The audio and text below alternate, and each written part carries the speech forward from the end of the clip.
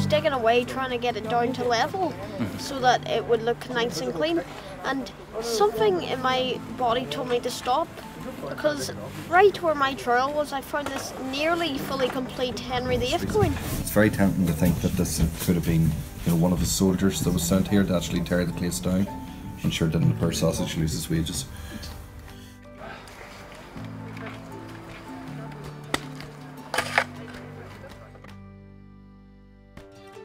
The tops of these walls are literally centimetres beneath the grass. It's fantastic, you know, we are basically desodding the area and we're straight into medieval archaeology. We've got a lovely, a lovely stick pin, decorated stick pin, and we've even got a little medieval bone dice as well. I found some copper slag, which is like a new type of slag we've found, which is pretty much like melted iron ore, which would have been found in forges and things like that.